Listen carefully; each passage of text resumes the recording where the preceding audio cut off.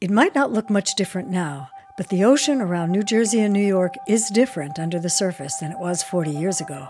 Most people enjoying a day at the beach are not aware that there are millions of these fish called menhaden just offshore and that 40 years ago they were in serious decline due to overfishing and pollution. Well, my name is Frank Coronado. I was born on Staten Island. My boating is my life. I'm on the water since I've been 13 years old. Worked as a New York City firefighter for 27 years, and I've been fishing every day I can. Well, six or seven years ago, I wouldn't think that we would ever see whales here. It was something that you saw on TV or on a movie screen or something, the whale coming out of the water with his mouth open, bait fish flying everywhere. It's just been incredible. It looks like you could be living in Alaska or, or California. The whales are in here, dolphin are in here, something that I would never imagine that would be here.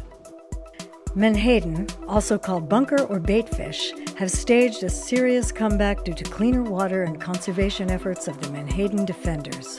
The organization focuses on ecosystem management so that other fish that rely on bunker for their survival have enough food.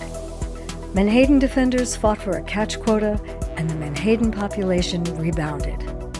Hi, Captain Paul here from Menhaden Defenders. We've been doing our bunker conservation work for 20 years now and all these whales and dolphins are a clear indication that we're doing something right. 10 years ago, there were only five whales spotted here.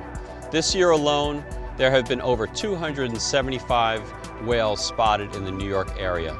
So whether you're online or you're lucky enough to be at the beach, seeing the whales and dolphins jumping and feeding on these little fish, please remember that we need your help to do this work. Please donate today to keep our conservation work alive. Thank you so much.